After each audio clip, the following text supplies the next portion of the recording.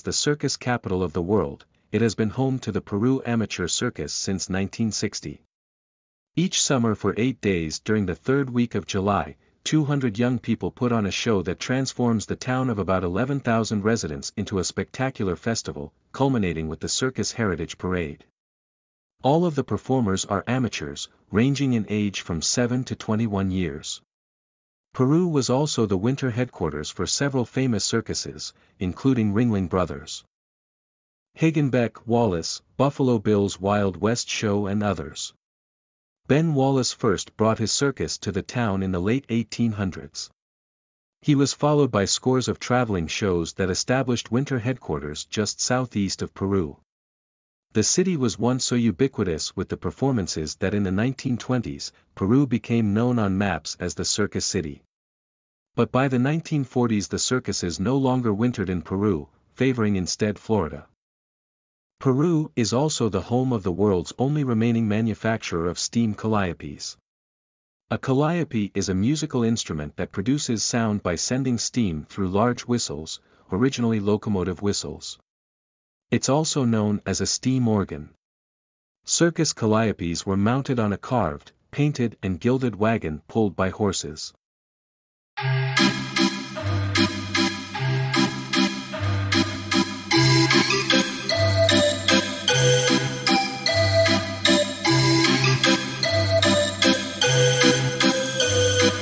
In my previous video I addressed the possibility of a pedophile ring involving father and son Klines centered in the Kokomo area, in this video I also include Peru and adjacent areas to this pedophile ring and go through people from these areas who have the potential to be involved in such a ring. There are probably a lot of people in this ring because through the arrest of Keegan Kline, a Dropbox pedophilia ring was revealed which in Indiana may have had over 900 members. Delphi teens Abigail Williams and Liberty German. Abby and Libby were murdered after going for a hike on February 13, 2017. Their bodies were discovered next day near the Monon High Bridge Trail. Authorities have released two crime scene sketches of a possible suspect, one in which he looks far younger than the other.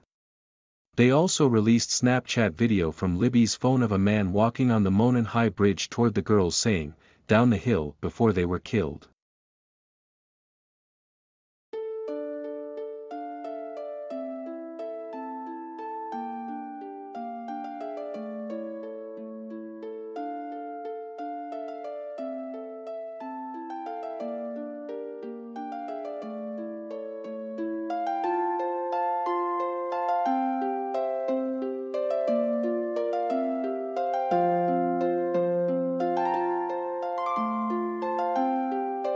Liberty German and the other underage girls who communicated with the Anthony Shots profile thought they were communicating with a handsome successful model unaware that behind the fictitious model facade was Keegan Anthony Kline. The former fashion model Vince Kowalski is a patrol officer for the Ketchikan Police Department in Alaska.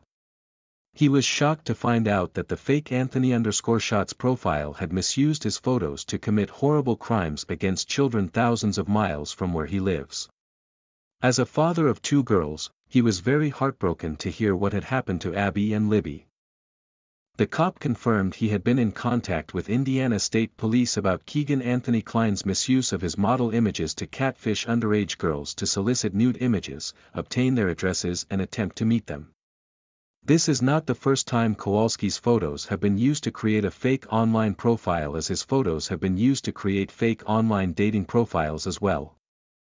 Seven days after the murders of Abby and Libby, the Anthony Shots profile reportedly asked a 12-year-old girl in Galveston for her address to possibly meet her, the girl gave her address and the day after when she got off her school bus in front of her home, she saw a man outside the house with ski mask peeping into her bedroom window.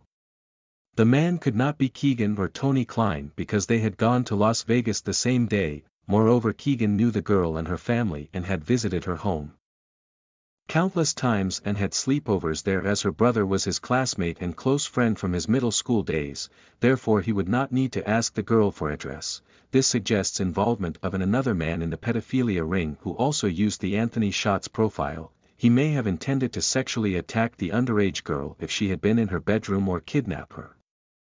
But his attempt was botched when the girl turned out not to be in the house and he was spotted before he had entered the house. Is it possible that the ski mask man was James Brian Chadwell who at the time resided in Kokomo, which is very close to Galveston?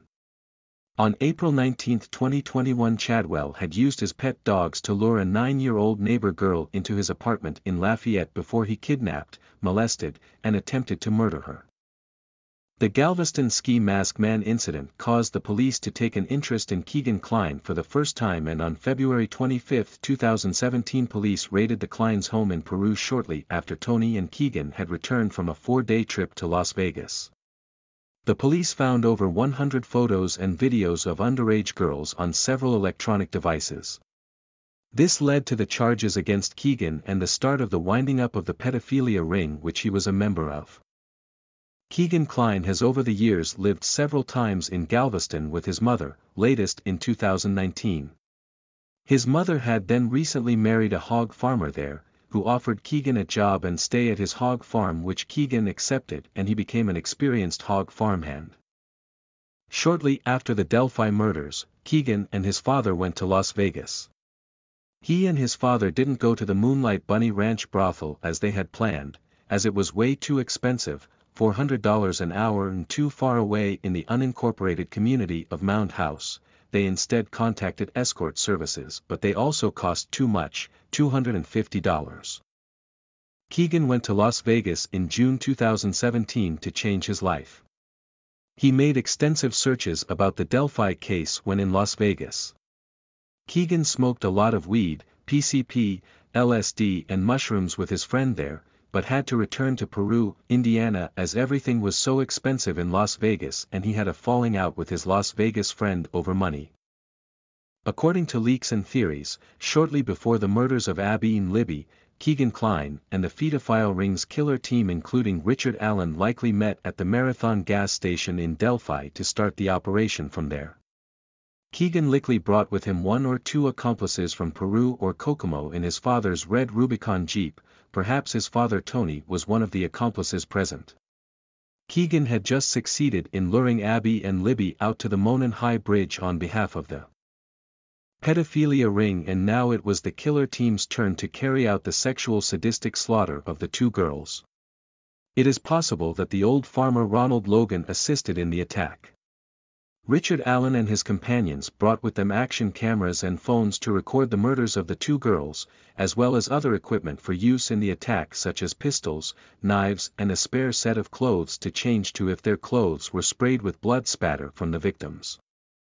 Richard Allen parked his Ford Focus 2016 model at the abandoned Child Protection Service building and walked towards the target area alone, he came in from a sidewalk just in front of the east side of the Freedom Bridge there he came across three juvenile girls that came from the Monon High Bridge, the girls said hey to Richard but he was unresponsive and hid his face so the girls found him spooky.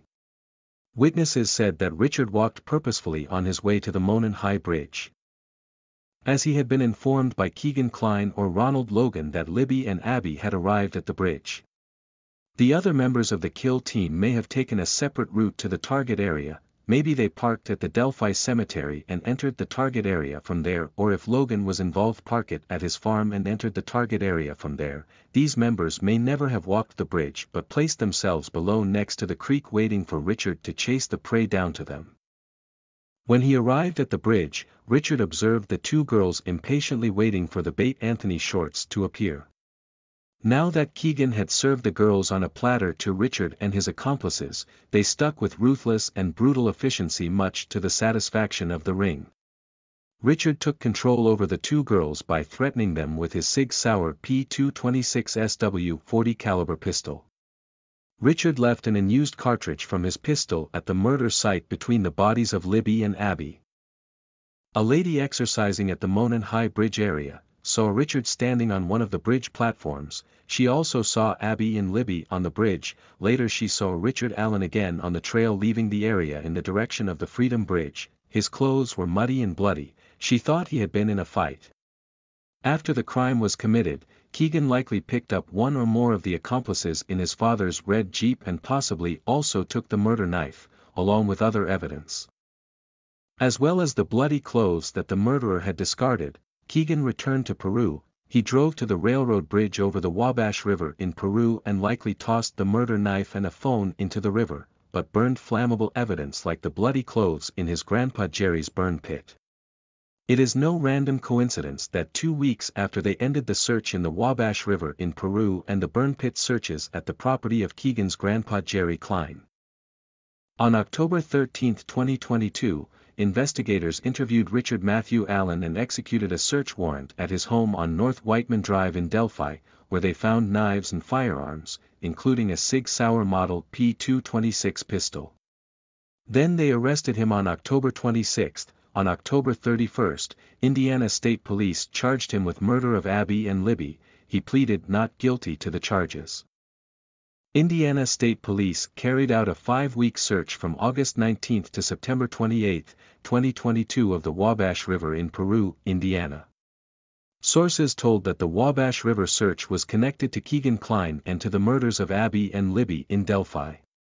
The same day the search began on August 19, a court allowed state police to take custody of Kline under a sealed order. The search of the Wabash River in Peru started near the Nickel Plate Trail Bridge and extended west past the US 31 bridge. Metal detectors were used but the lion's share of the search was conducted by hand, the search team collected a pile of metal and other objects under the bridge. Kline's father Tony lives just a short distance from the bridge. When people stopped by his house to ask him if he knew anything about the search and why state police took temporary custody of his son from the Miami County Jail, Tony Kline didn't come to the door. In two August 2022 court filings, Keegan Kline explored different legal options and negotiated with the prosecutor.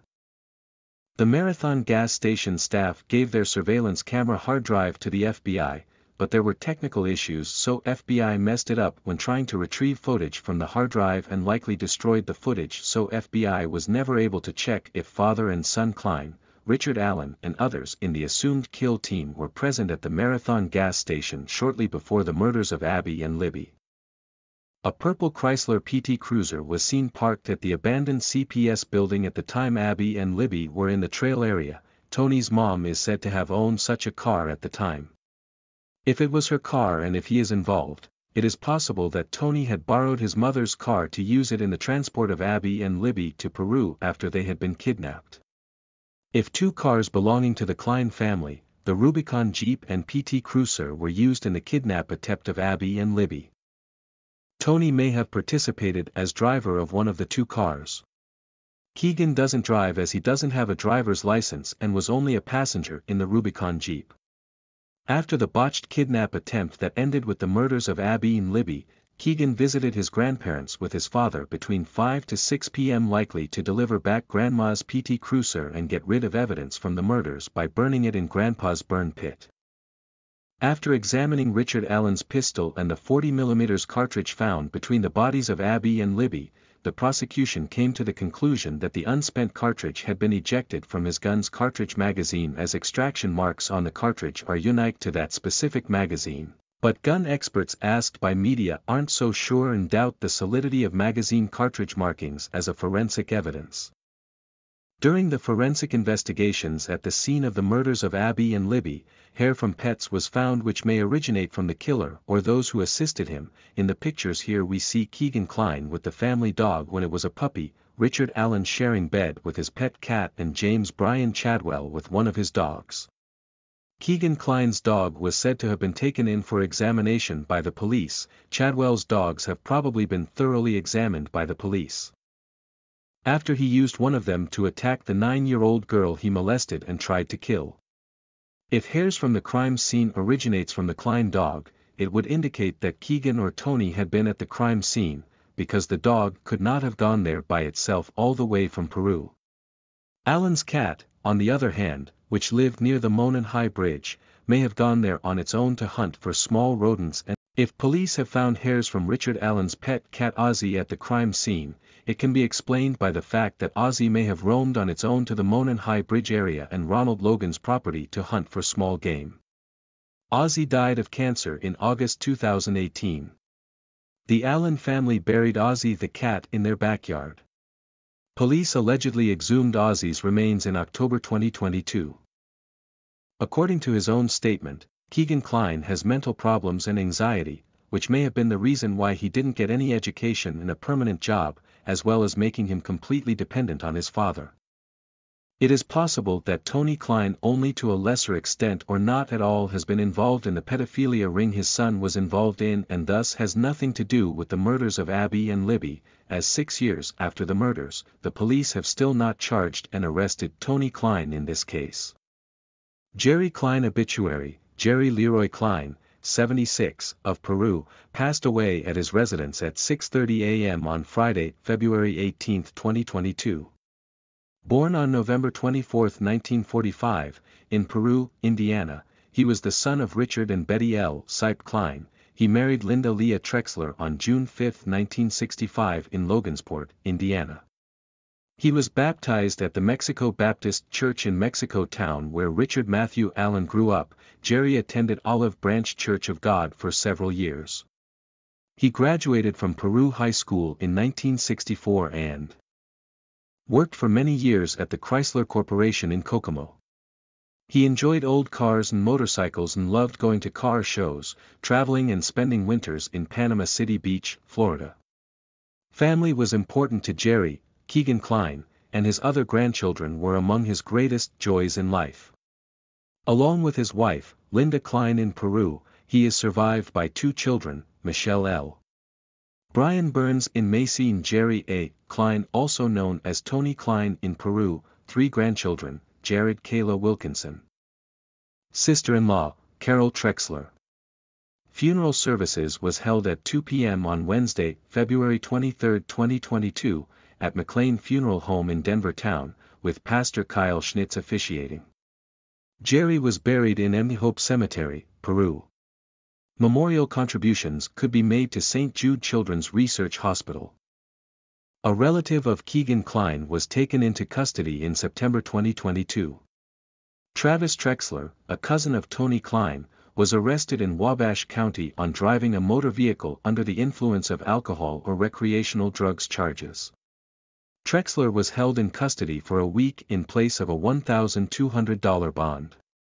He was released on September 8, 2022 court records show. The 39-year-old was also arrested in September 2015 on a warrant for driving a vehicle while intoxicated with a controlled substance. He was also charged with similar offenses in November 2021.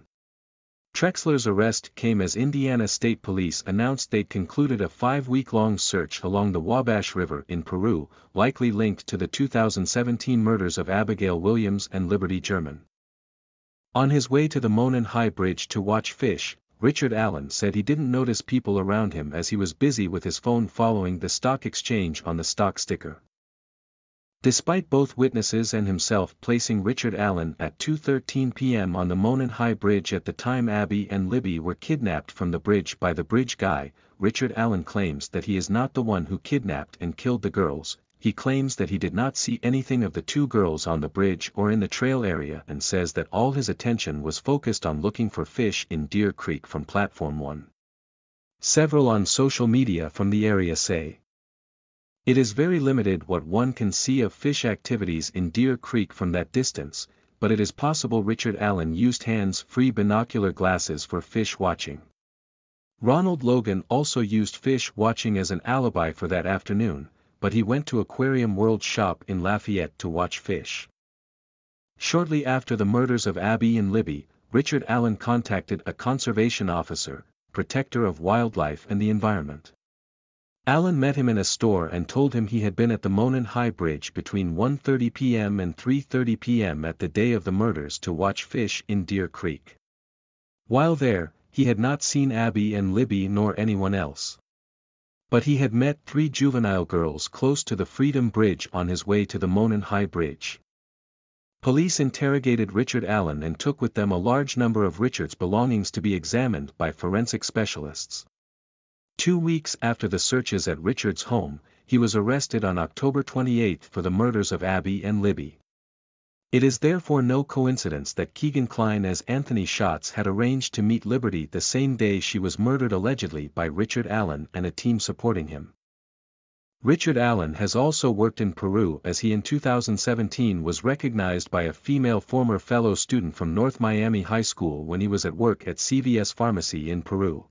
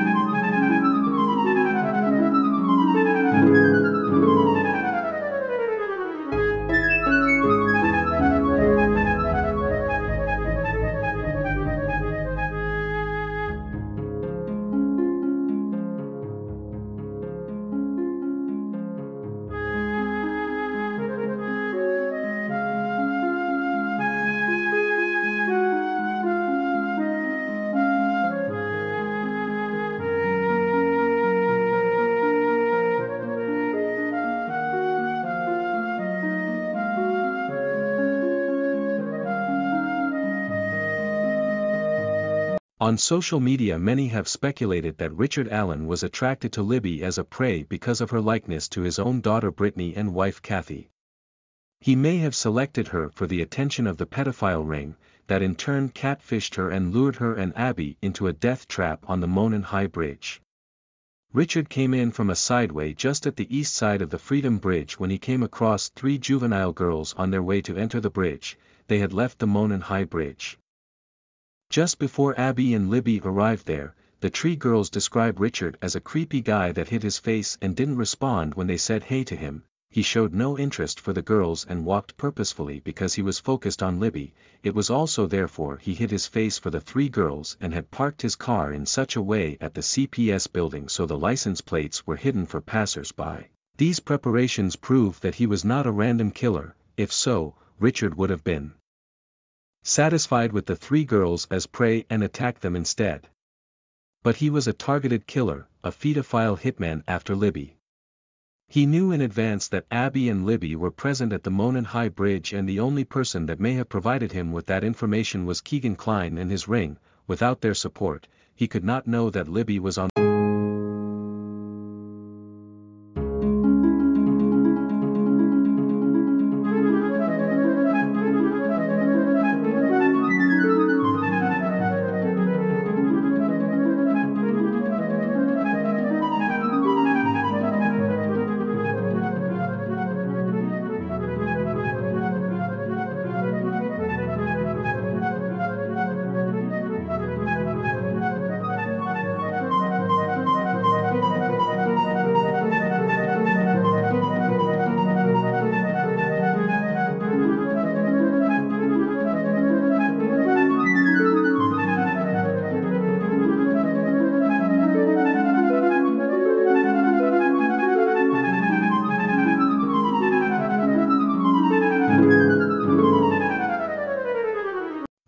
Allen Zapanta's husband Paulo Zapanta is from Bacoor, Cavite in the Philippines. He is June Para Zapanta and Marisol Bernardo Zapanta's son and has four siblings. He lived in Winnipeg, Canada before moving to Goshen in Indiana, U.S. He later moved to Nappanee in Indiana. On November 11, 2017, he and the two years younger Brittany got married. In May 2019, he was one of the Q1 2019 recipients of the inaugural Bright Ideas Award of Optronics International, a vehicle lighting manufacturer with facilities in Indiana and Oklahoma, USA. He was 30 years old when his parents and siblings visited him and Brittany in Nappanee on September 19, 2022. Roger Mark Gorham was born on September 4, 1951, in Wabash, Indiana, where he lived most of his life before moving with his wife to Aiken in South Carolina in 2004 where he died on August 26, 2014. He was a capable musician who sang, played harmonica and guitar in the genre of American folk music. He started a YouTube channel with his music videos shortly before he died. Recitation of Roger Gorham's company profile from January 2002, visionary entrepreneur in Aiken, South Carolina, USA. Owner of RMG Rigging Service, LLC that was incorporated in 2002, has attained and preserved an excellent reputation in the field of industrial machine rigging and industrial millwright work. If you have heavy equipment and machinery to move, RMG Rigging Service can provide you with timely service with the assurance that your equipment will reach its destination. We believe in doing volume work to lower costs for our customers. Education, Wabash Graphic and Doctor of Philosophy, Music Theory and Composition from 1967 to 1969 at Wabash High School. Obituary of Mr. Roger Mark Gorham, 63, beloved husband of Mrs. Julie Mix Gorham, he died suddenly on Tuesday, August 26, 2014, at his home in Aiken, South Carolina. Born in and a resident of Wabash, Indiana, until 10 years ago, he was a son of the late Robert and Joyce Armstrong Gorham.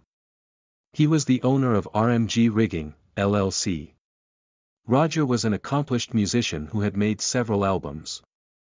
He enjoyed being with his family and friends, singing and playing his guitar and harmonica. In addition to his wife and parents, family members include his children, Rick Allen, Delphi, Indiana, Mark, Cynthia, Gorham, LaFontaine, Indiana, Jamie Gorham, Aiken, South Carolina, Alex Gorham, Spartanburg, South Carolina and Robbie, Miranda, Gorham, Windsor, South Carolina, stepsons, Jason and Jeffrey, Brittany, Jan, both of Aiken, South Carolina, siblings, Robin, Loretta, and Larry, Paula, Gorham, both of Aiken, South Carolina and the late Mitch Gorham and six grandchildren. In accordance with his wishes, Roger was cremated and the family held a celebration of life service at a later date.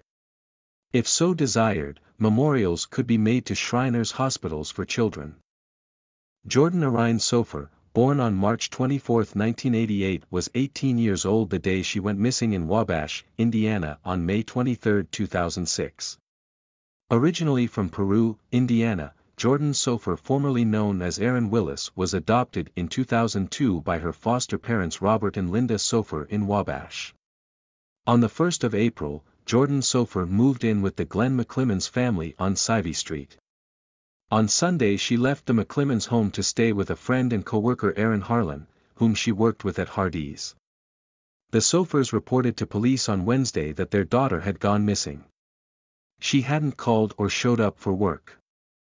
The police then spoke to Erin Harlan who said she had last seen Jordan Sofer on Tuesday at 5.15 a.m. When Harlan returned from work Sofer was gone, but her purse and cell phone were still there.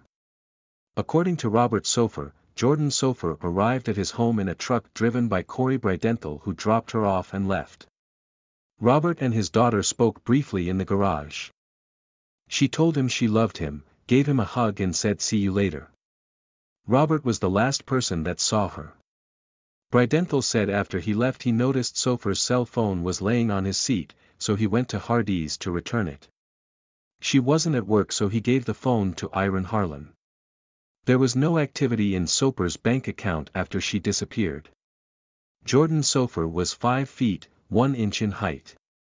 She had brown hair, brown eyes and was about 120 pounds. Jordan Arine Sofer's partial skeletal remains scattered in dense brush along a creek in Miami County, Indiana. Her body had apparently been there since around the time of her disappearance. Authorities have been unable to determine the cause of death due to the deterioration of the remains.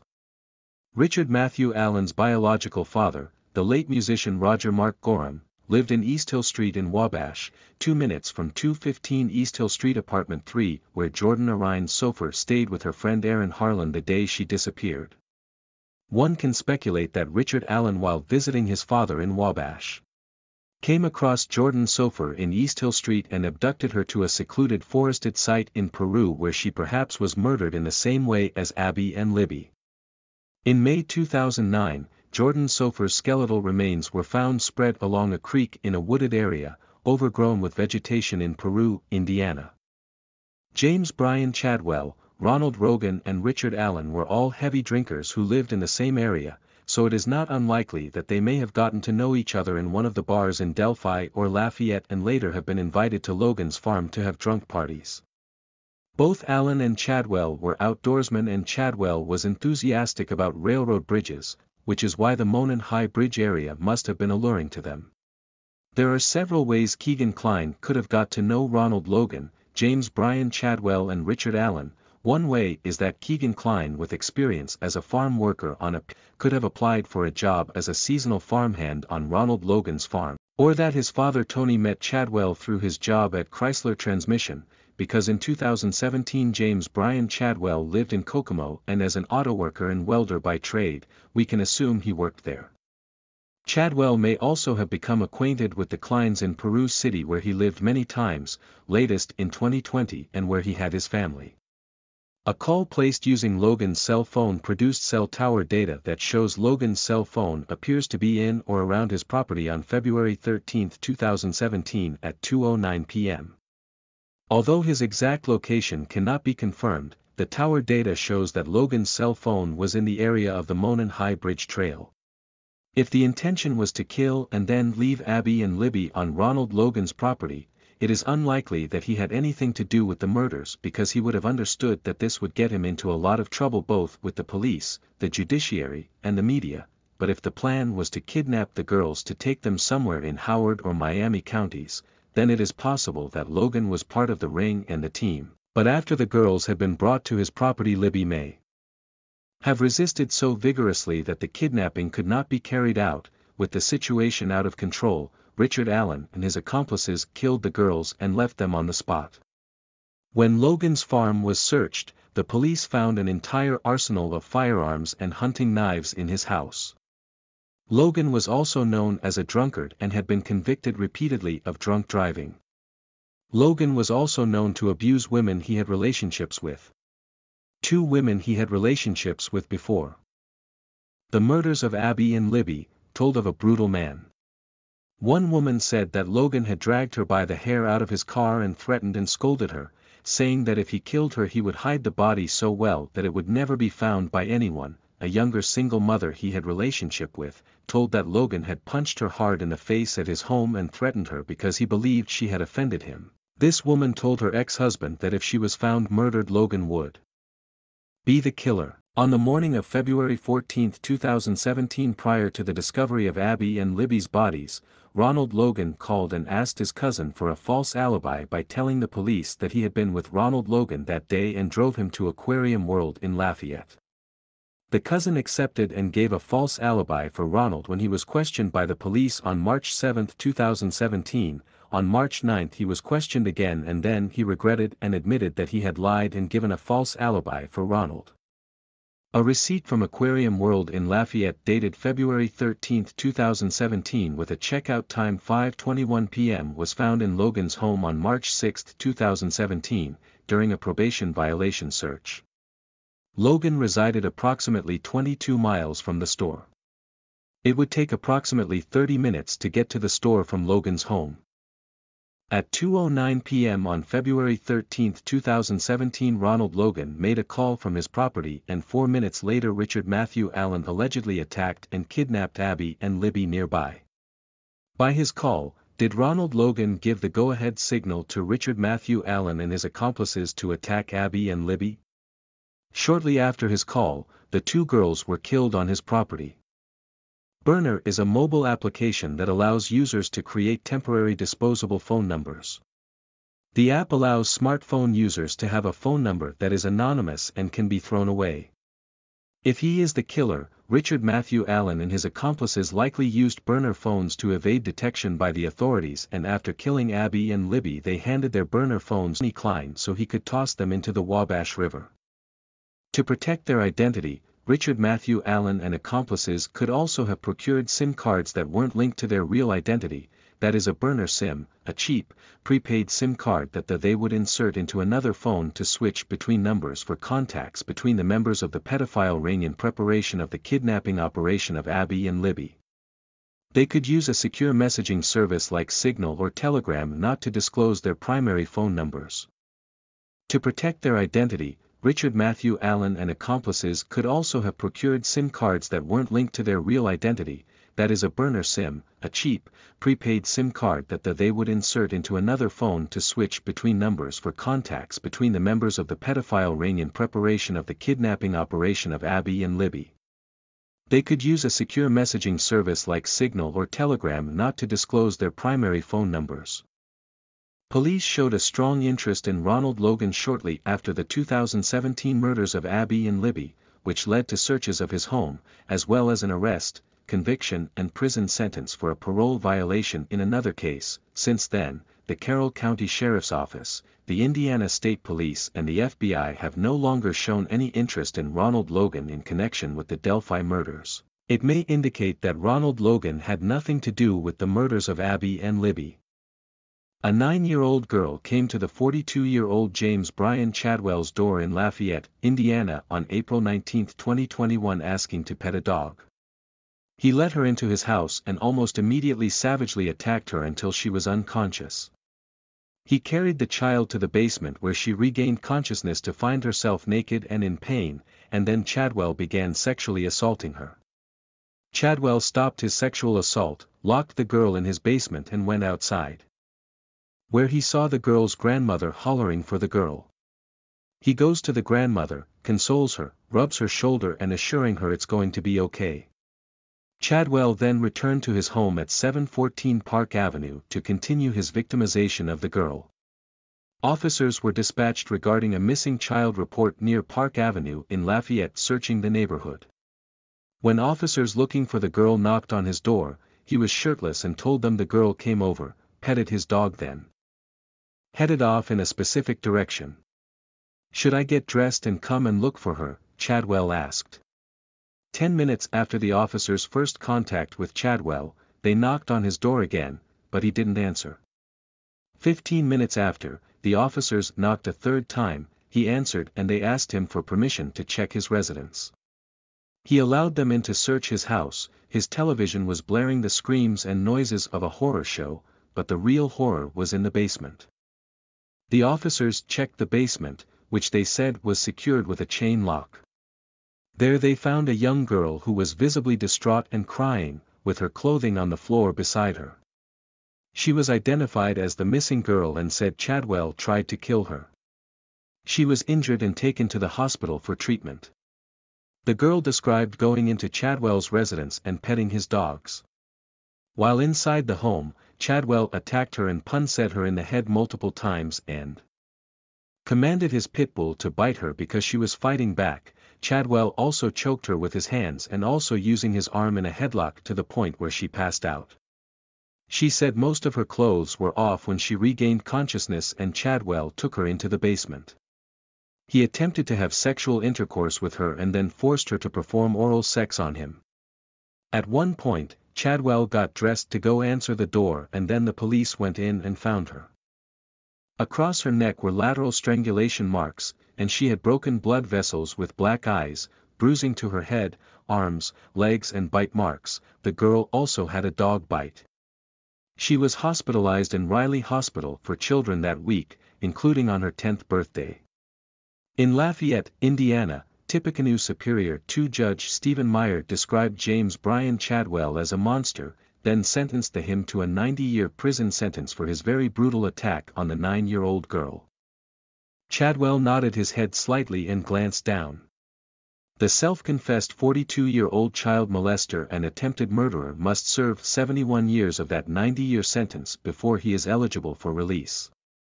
If he lives that long, Chadwell will be 113 years old and the year will be 2092. Chadwell, who pleaded guilty on October 22 without a plea agreement, made a few statements before sentencing, acknowledging his horrific deeds, saying he did not know from where his behavior came. This is not who I am, not who I was raised to be, I never wanted to hurt anybody, especially a little girl, I'm genuinely sorry and I don't plan to appeal my sentence, Chadwell said. It took approximately a one-minute walk from the victim's home to James Brian Chadwell's home at 714 Park Avenue in Lafayette. When the police found the nine-year-old girl, she was naked and had extensive bruising from a pit bull terrier bite. Prosecutor Harrington said police body cam footage of the rescue was so graphic most people who observed it sought mental health treatment. James Brian Chadwell, lost a fight on May 7, 2021 inside his jail cell in Tippecanoe County Jail in Lafayette, Indiana according to Tippecanoe County Sheriff's Office. Chadwell, 42, and another inmate, Quinton Jackson Jr. 25, got into a fight Wednesday evening. Chadwell received minor injuries to his face and was treated by the jail medical staff. He was convicted in Cass County, Indiana for receiving stolen property on June 9, 2016. In August 2016, he violated probation. In November 2016, he was taken to jail and held without bond, but a few days later he was released, a hearing was scheduled for April 2017 in the case.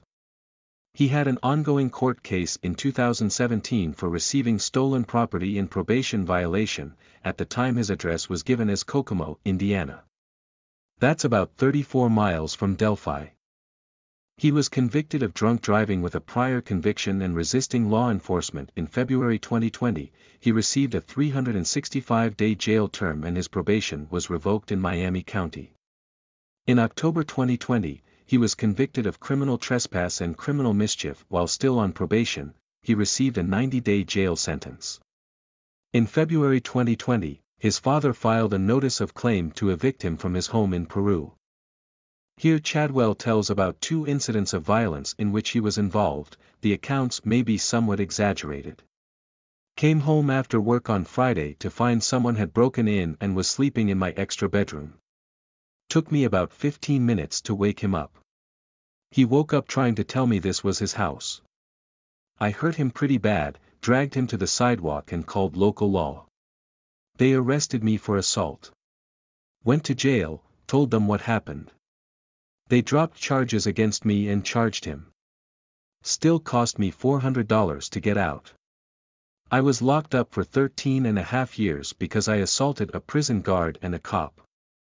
Never imagined it would be so difficult coming back out here. I'm a good guy, just made some mistakes. The world holds it against me. James Brian Chadwell's brother, Ashley Chadwell, 40, said Chadwell has a history of drunk driving and violence. He once shoved his wife Sarah so violently into the wall that it left a whole body imprint.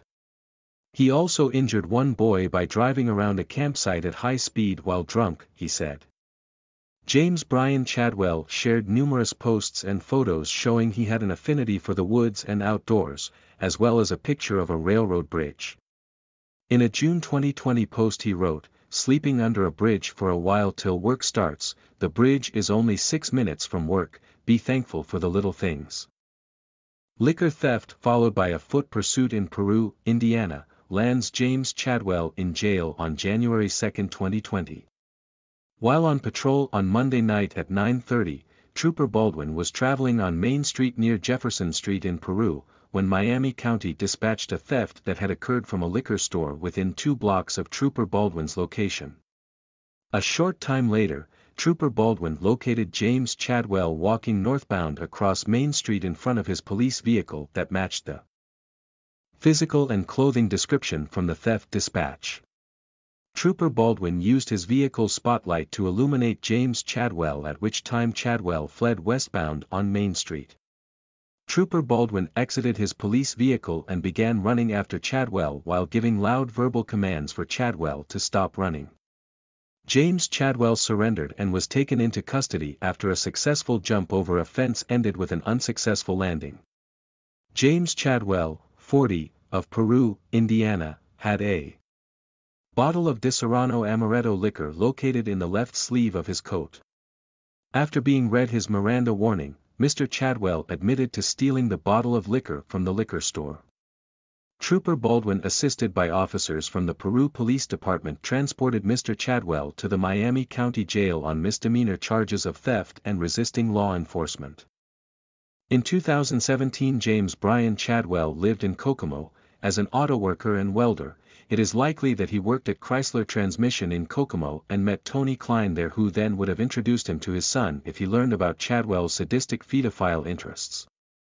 Most likely James Brian Chadwell didn't participate in the actual murders of Abigail Williams and Liberty German, but he may have been part of the group of pedophile ring members who contributed in the preparations and in the facilitation of the murders of Libby and Abby. As a member of the inner circle of the pedophile ring, he would have access to Anthony Shots' profile and then be able to communicate with Libby and see pictures of her. It may be in context of the pedophile ring's celebration of the murders of Abby and Libby that he had a tattoo commissioned on his arm of a girl's face who looks like a crying Libby.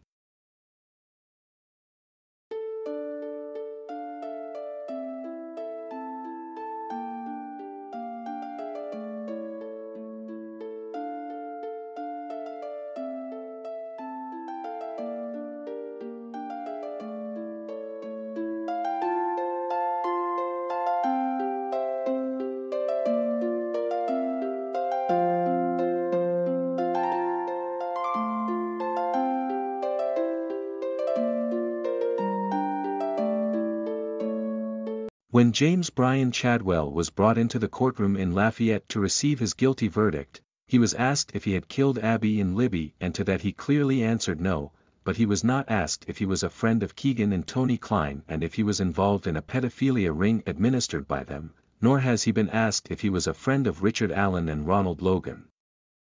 The case of Bill and Peggy Stevenson murders in Florence, Kentucky, now points to a specific person with a specific item that links it to the Delphi murders of Abby and Libby. Kentucky detectives visited this person in northern Indiana after he was willing to talk to them, they are working with the Indiana police in this case. The Kentucky police said that Richard Allen was not suspected of involvement in this case but other people linked to the murders of Abby and Libby were. May these others include father and son Kline. On May 29, 2011 the Stevenson 74, were brutally bludgeoned and stabbed to death inside their Florence home. Their daughter Beth Stevenson Victor said they were open and friendly and very involved with the church that they went to for years, her father was a deacon and the mother played the organ. The killer or killers also seemed comfortable in the environment, staying hours after the couple was killed to inflict a post-mortem injury on one of them and stage the scene. There also was a message left, though investigators wouldn't share the details, easy-to-fence items robbers steal were left untouched but photos were arranged to suggest that certain people were liked and others disliked.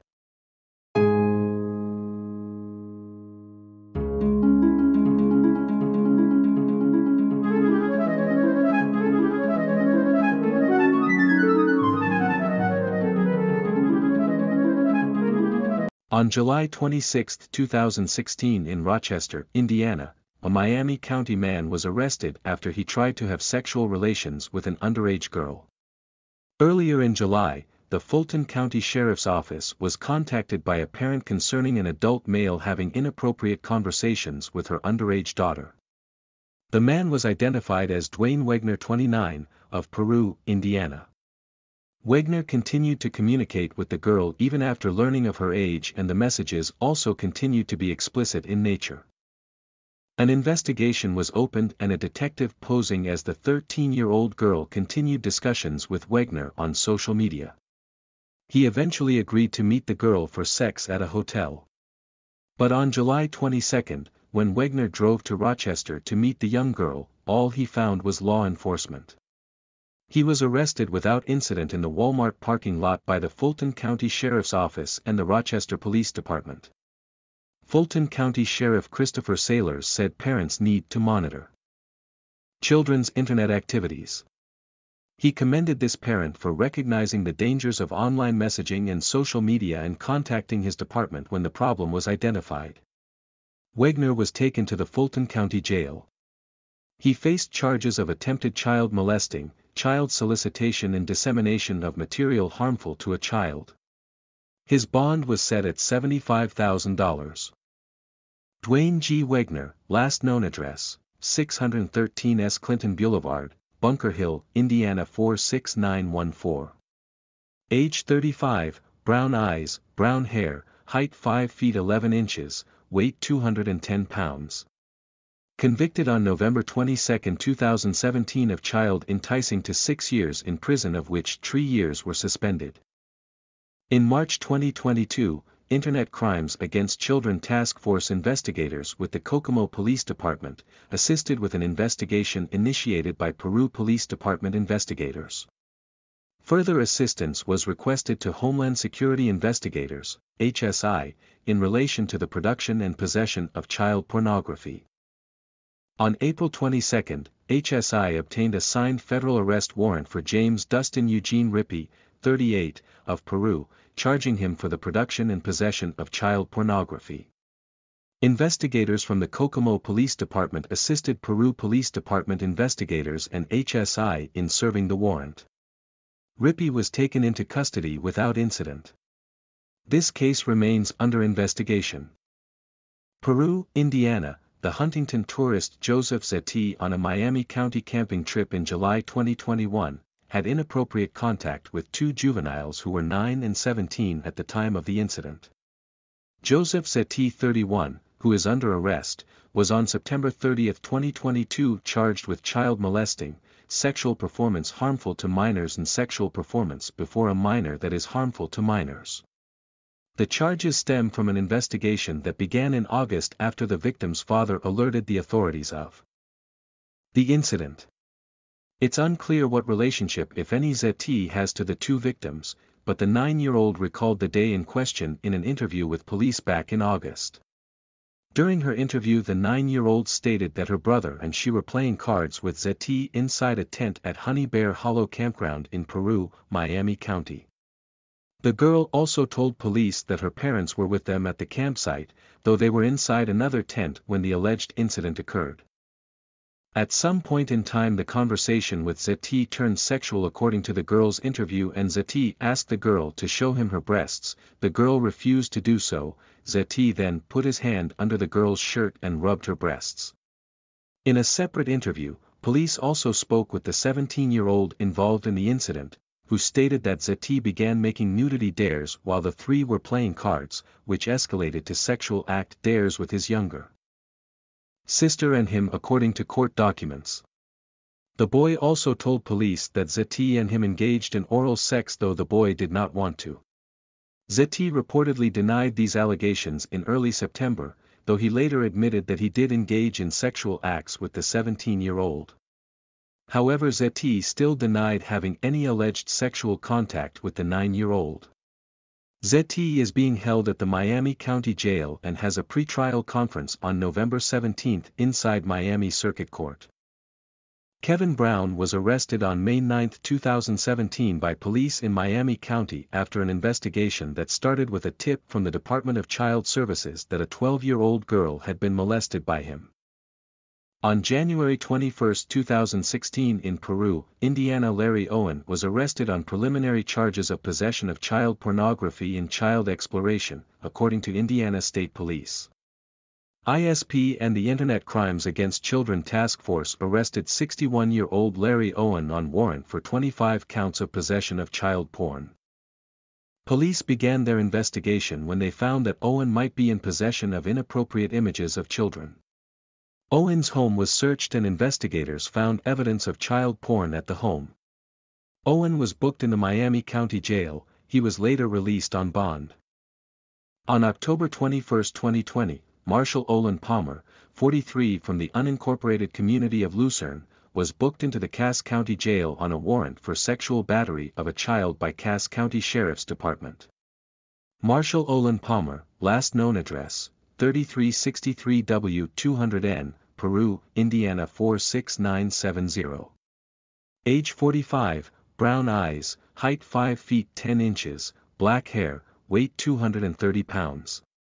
Convicted of sexual misconduct with a minor on September 21, 2021. Mason Zimmer, a 28-year-old teacher at Peru Junior High School in Peru, Indiana was arrested on September 5, 2018 for child seduction after having sex with a 16-year-old female student. Police learned about the crime from the girl's mother. Police say sexual images were shared between the two on Snapchat. Detectives say Zimmer confessed to having sex with the student.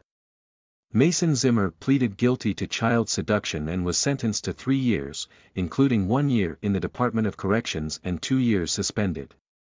Mason Zimmer is now registered as a sex offender, his last known address is 90 Albert Street, Peru, Indiana 46970.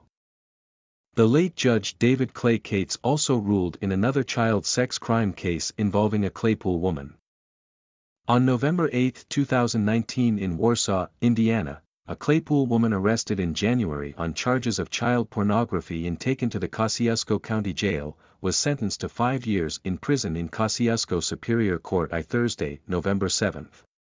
Rosalind Beatrice Burkhart, 39, of 107 North Rebecca Street, Claypool, pleaded guilty to two counts of possession of child pornography, level 5 felonies. In September 2018, an Indiana State Police officer received information from the National Center for Missing and exploited children through Facebook of child pornography that was uploaded in June. According to the affidavit of probable cause, the officer found that child pornography had been obtained by someone at 107 North Rebecca Street, Claypool. The pornography involved children under the age of 12 and included photos of sexual conduct while in bondage and sexual photos involving bestiality. On January 17, the officer served the search warrant to a man and woman at the residence. The woman was identified as Burkhart. Through interviews, the officer determined that the pornography was on Burkhart's device. Officers searched Burkhart's cell phone and found child pornography. Burkhart admitted that she downloaded the items from the internet to her husband's Kik account.